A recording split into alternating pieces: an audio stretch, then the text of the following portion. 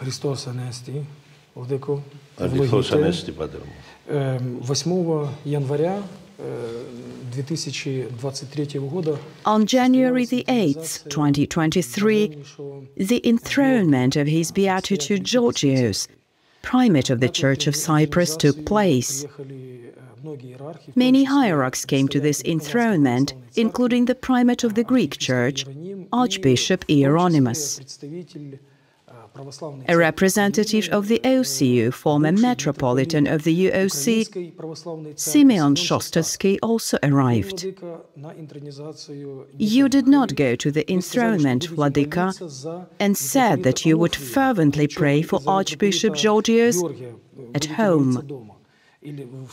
Why did you do that?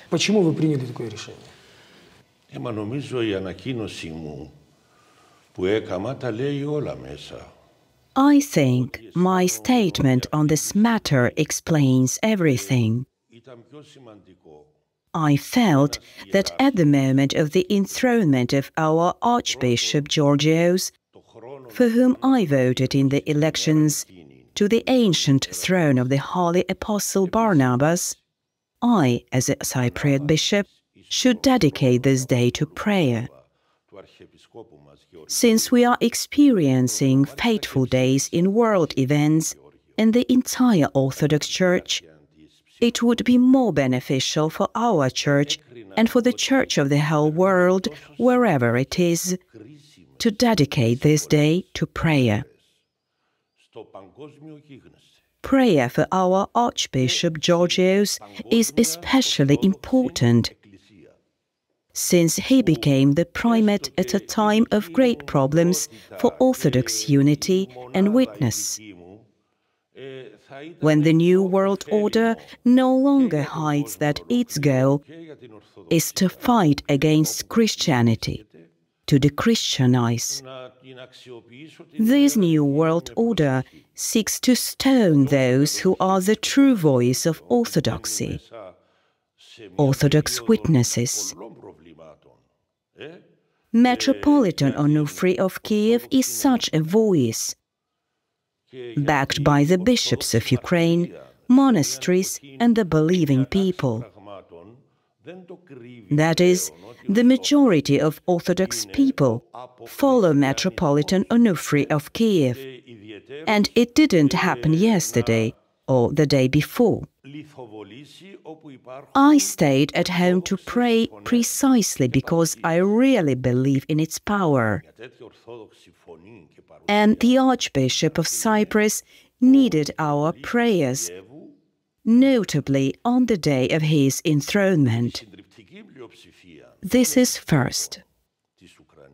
Secondly, Metropolitan Onufri and his church have a great need for prayer, as it is going through great trials.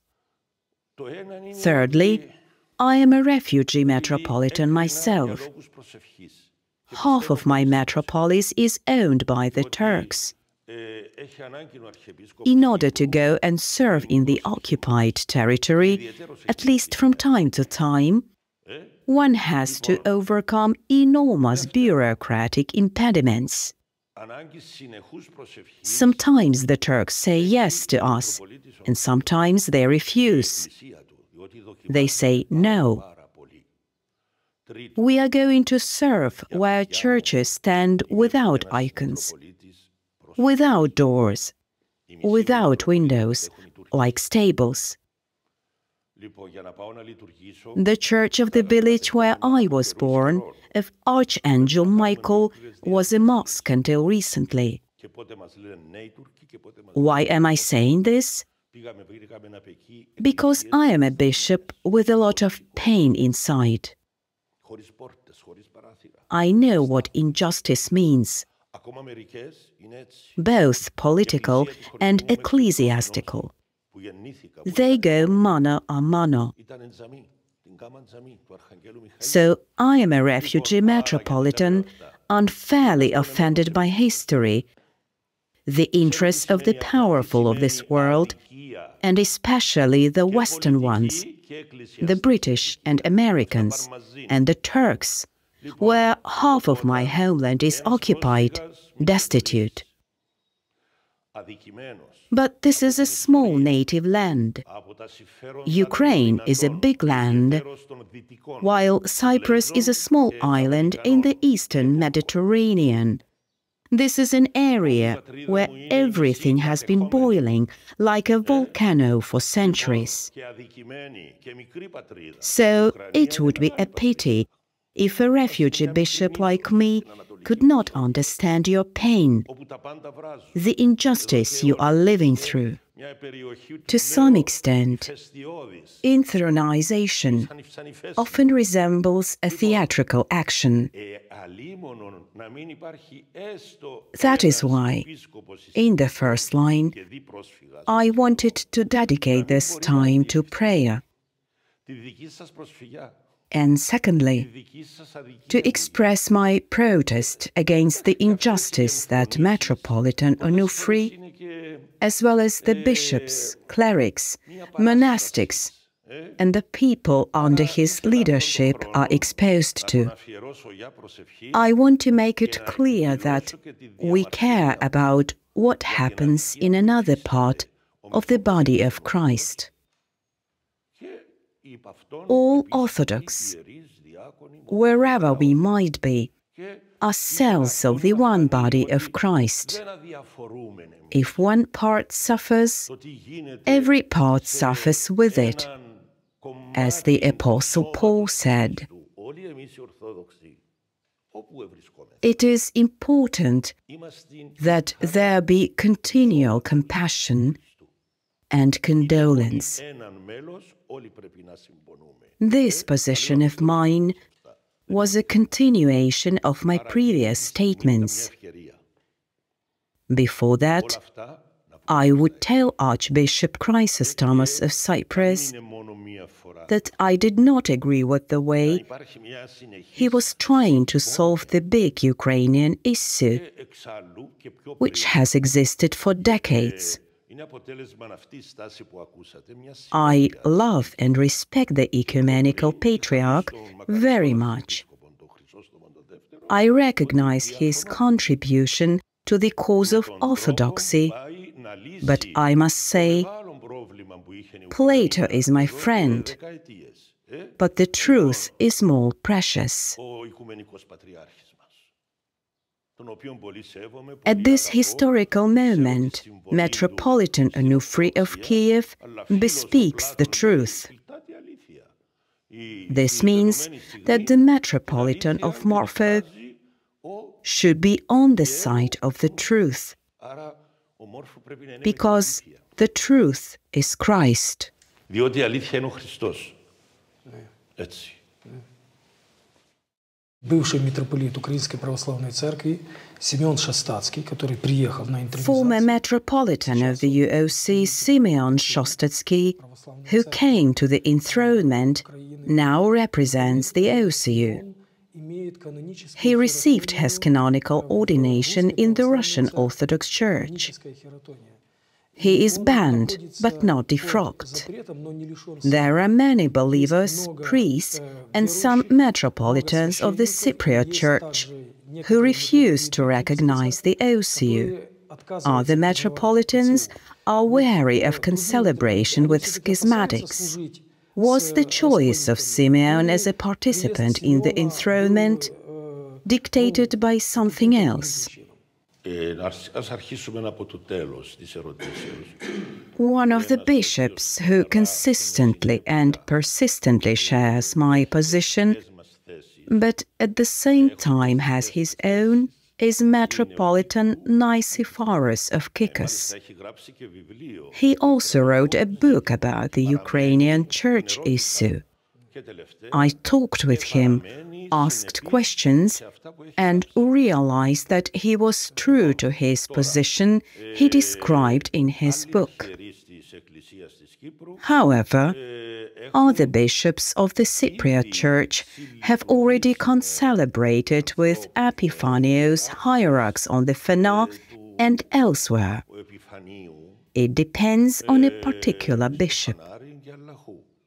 Perhaps some agree with the position of the Archbishop of Cyprus because of respect for the ecumenical patriarchate, but in no way want to concelebrate with Epiphanius bishops. They consider them either not ordained or schismatics, because the so-called hierarchy of Epiphanius is an artificially created structure, which, instead of bringing a solution to the Ukrainian church issue for the Ukrainian people and for all of us, only made this problem extremely complicated. This means that this is a schism of pan Orthodox magnitude. It hides underground but sprouts from Ukraine to Africa, from Ukraine to America, and from Ukraine to Japan. You understand that this is a spiritual problem of world significance, which can be solved only by the Ecumenical Council and the war that preceded this council which is already underway and will only get worse with time. It is precisely the war that will give a way out of the current impasse. First, there is a war followed by famine, epidemics, and so on. And then those who survive will convene the Ecumenical Council what is now known to the Cypriot people. The part of Cypriots that lives the church life has correct information about the situation in Ukraine from their bishops, priests, from the media. Sometimes they can also receive disinformation from the mass media, unfortunately. The people understand that there is great lawlessness and injustice in Ukraine. There are also other 40 countries from the side of the Western Bloc behind this ongoing war between Ukraine and Russia. China, Persia, India, and as we see, Syria and other countries stand behind Russia. So, we have a small stadium called Ukraine, and there is a world war in this stadium. This is the true state of affairs, and the majority of Cypriots understands this. But what can the people say with their family and economic problems? A nation for whom the biggest problem is Turkey, whose position creates problems for both Russia and America. But it will pay for its position. The Lord has his own plans. Not only Russians and Americans have a plan. Here is my answer to your question. This means that the Ukrainian problem is only part of the intricate plan of the New World Order. Therefore, Ukrainians should not view the situation only as a separate problem of their own.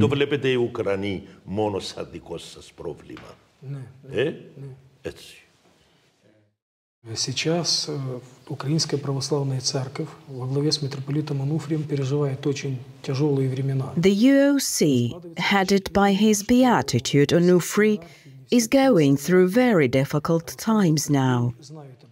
One gets the impression that not all hierarchs and primates of the churches are aware of this. Or they know but are silent. For example, Patriarch Porphyry of Serbia and Patriarch Ilya of Georgia spoke out in support of the UOC. Other primates do not support Metropolitan Onufri directly. In addition, among the hierarchs of other local churches, very few support the Ukrainian Orthodox Church in words or messages. What is it connected with? Why don't they express their position on what is happening with the Ukrainian Orthodox Church? It would be a mistake on my part to answer this question. Why? because I will be responsible not for myself, but for others. I don't know why a particular primate or hierarch is silent. Only he himself can say this. The question is, why are they silent? And are they silent only about the problem you are talking about? We see so many other hushed problems. For example, they are silent when homosexuality is now legalized in almost all countries of the world, mainly Western. When the basis of childbearing is being destroyed, male and female, what God created us to be. We are now teaching children that there are many genders, when the European community invites people to eat unclean animals, insects, worms. All this is happening officially. People's nourishment is changing. People's faith is changing. Anthropology is changing. Attempts are being made to change the genetic code of each person with a variety of vaccines and artificially created epidemics. And we see that right now there is a great chance for bishops and patriarchs to declare their position on all these issues and topics. However, we hear only deathly silence, and if the bishops speak up, it is very indistinct, as if they are afraid to tell the whole truth. I am talking about what's going on, but why each of them does this, only God and their own souls know.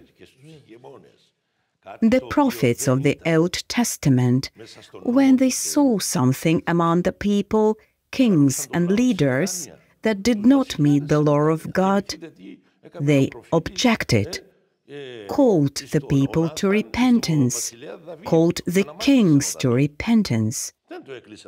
Remember what the prophet Nathan did to King David.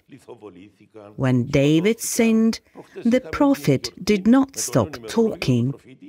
He raised his voice and rebuked him. The prophets were stoned and killed for their words.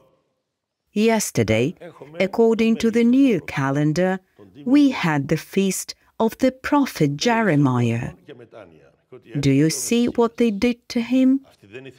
He was stoned by his own people, the Jews, because he didn't want to go with them. We also have the greatest of the prophets, John the Baptist. He spoke to the people about repentance, about the coming of the Messiah. But the Jews did not want such a Messiah as God had given them. They needed a liberator from the Romans, a political liberator not a spiritual one that would deliver them from death, sin, and the devil. They wanted a Messiah who could fit them. Why was John the Baptist arrested?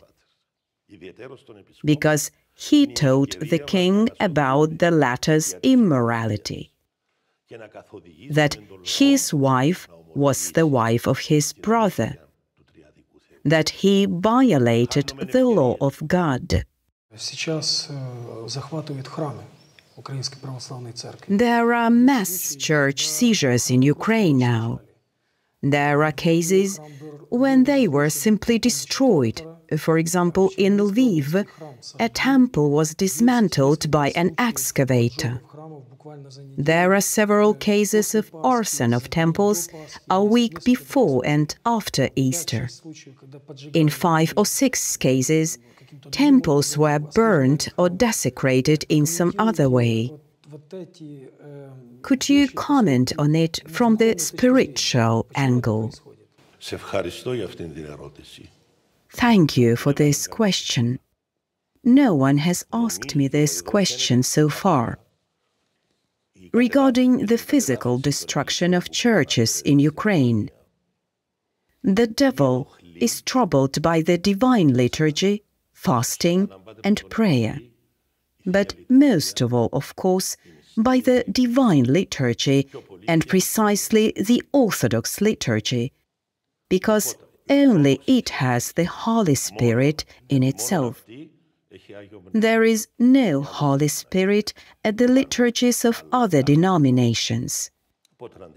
Certainly, you understand that other forces are hiding behind Zelensky.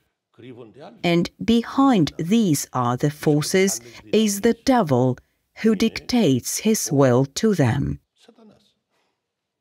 Just as some saint hears the voice of Christ, the Holy Spirit feels grace within himself, in his heart. In the same way, any magician or Satanist hears the voice of the devil within himself, the voice of temptation. This voice is his master. He himself allowed the devil to act within him.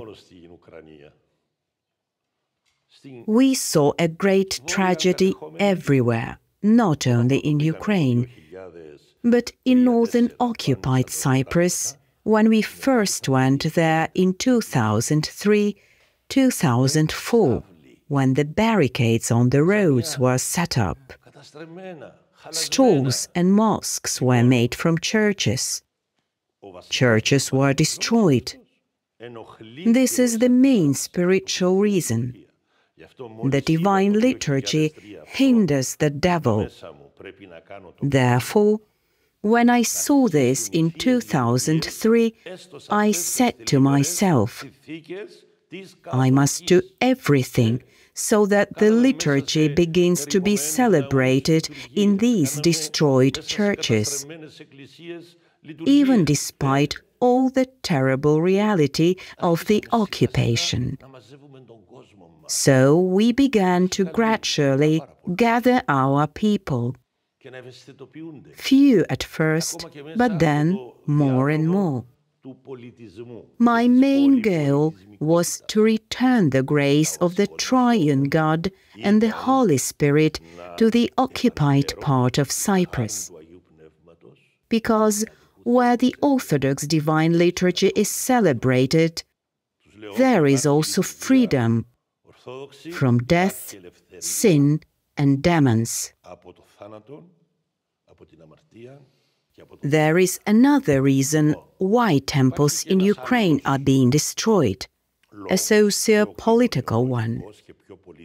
Enemies know that Orthodox people, families, communities unite around the church, and they say, So I destroyed the temple, killed the priest, intimidated the bishop, and people will simply leave. When they don't have a church, they don't have the opportunity to celebrate the divine liturgy. They will move to other places that are safer. That is their plan. They do not want the presence of orthodoxy in all of Western Ukraine. They do not want the Orthodox to live there. They want only uniates to remain. And you will see that there will be a structure that has never existed before. They want to use Ukraine for an experiment. They want to make the whole of Western Ukraine unite. And then our brothers from the Holy Mount, the bishops who will now serve with the OCU, will be surprised. They will see Epiphanius serve with the Uniates.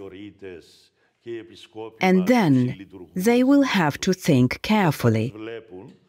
Has one ever seen Onufri concelebrate with the Uniates? Maybe Onufri participated with them in some common event, but never in the Divine Liturgy. He never shared the Holy Communion with them. Such a thing is impossible to imagine.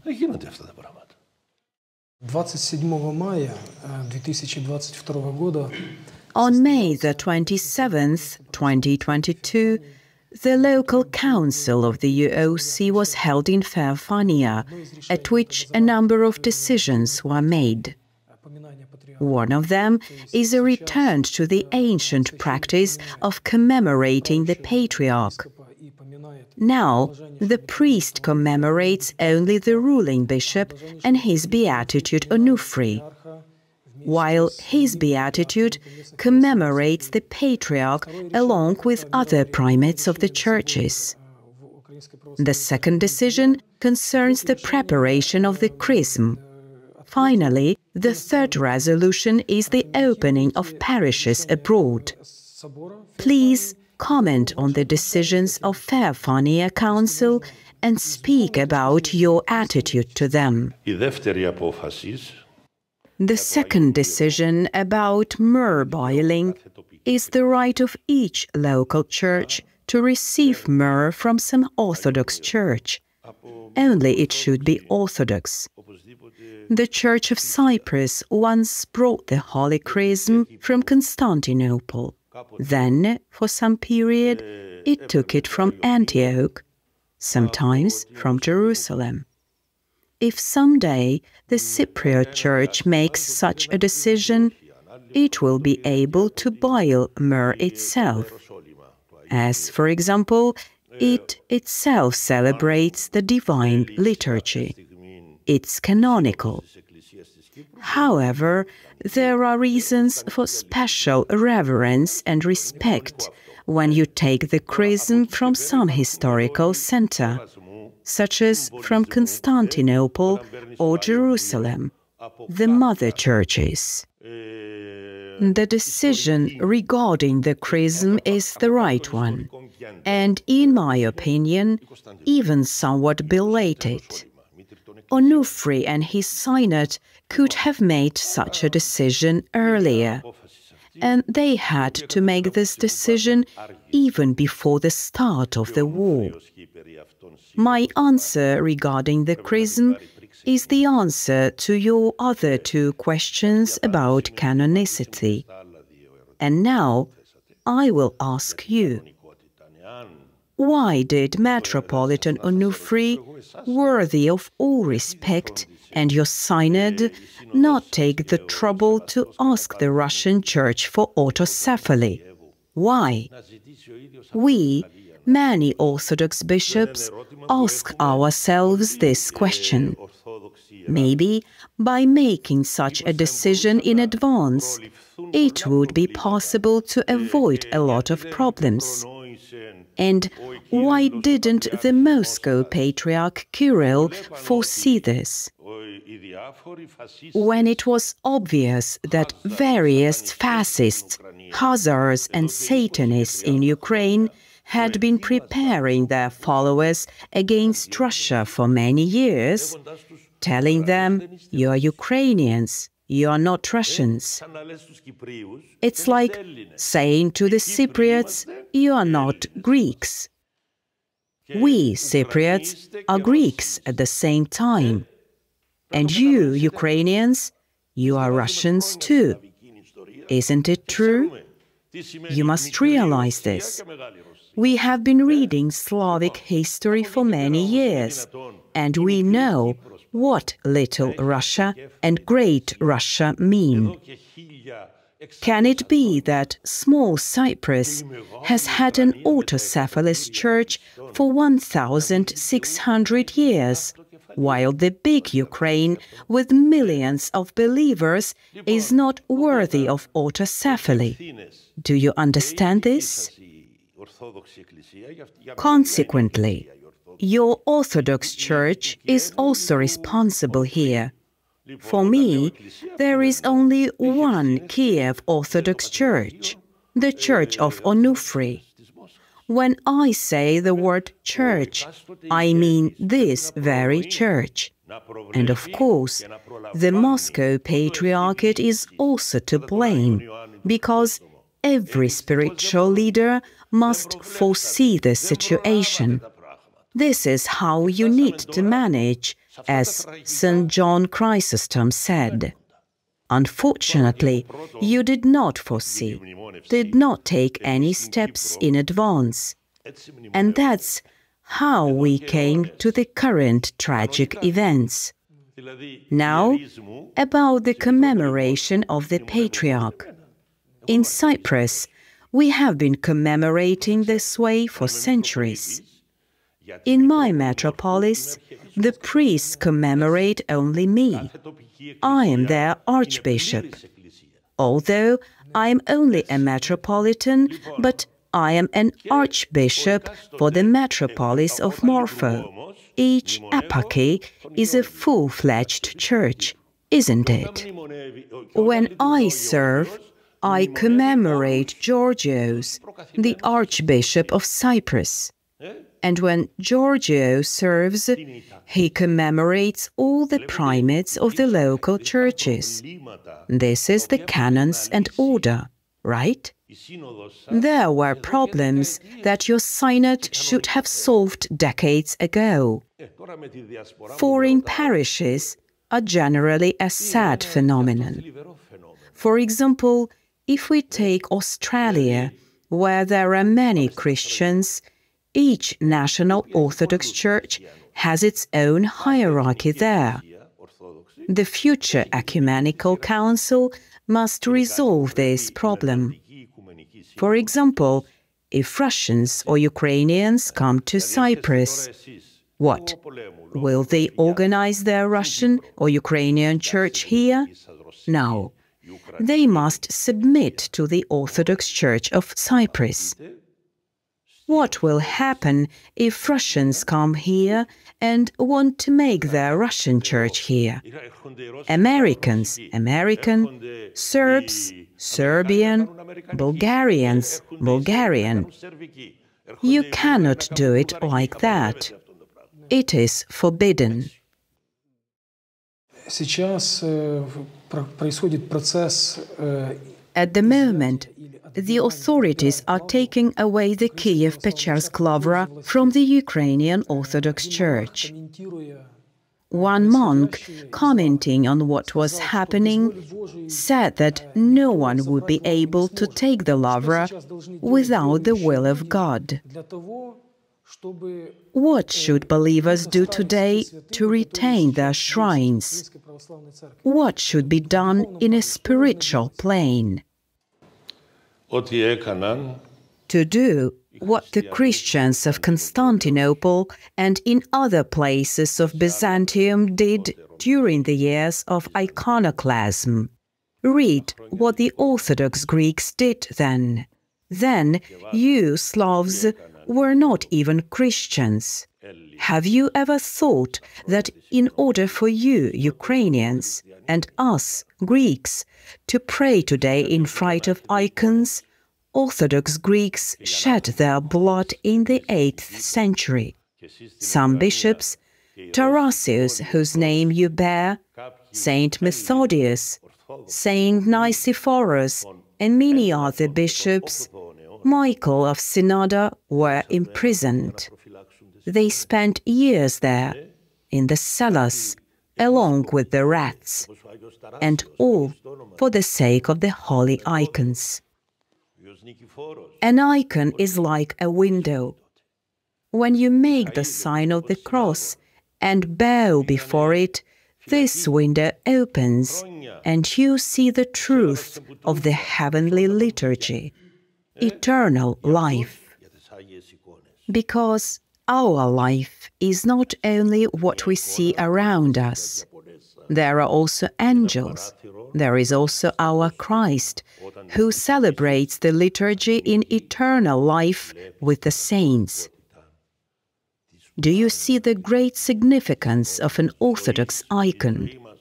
It is alive, and the relics are alive. You know, when I was a deacon, I visited the Kiev caves Lavra. I served there together with Saint Eumenius the New. He was my confessor. We served there. And I want to tell you something else. The day we arrived in Kiev was the day of the enthronement of Metropolitan Vladimir of Kiev we went as pilgrims together with Saint Eumenius. As soon as the monks of the Kiev Caves Lavra saw us, they said, This is a good sign, because it was the Greeks who built the Kiev Lavra. And then the Kiev Church went through trials with the Patriarch Philaret.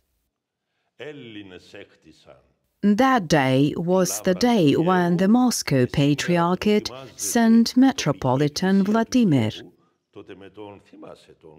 With great joy, they gave us an old church above the caves, and there we served the liturgy together with Saint Eumenius. Father, don't lose the presence of spirit. Don't lose hope. Orthodoxy goes through trials from time to time. And so that we now have our faith, Orthodoxy went through persecution, through the Diocletians, the Roman emperors, through the Jews, through the heretic emperors. However, some were righteous.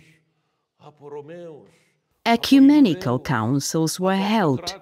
Seven ecumenical councils, two more not recognized as ecumenical, which took place under the great Photius and Gregory Palamas.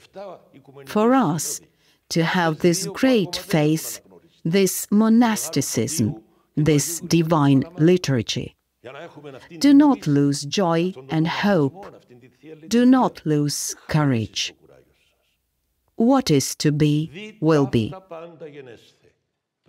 All this was to happen so that Ukraine would give birth to new saints. Amen. Amen.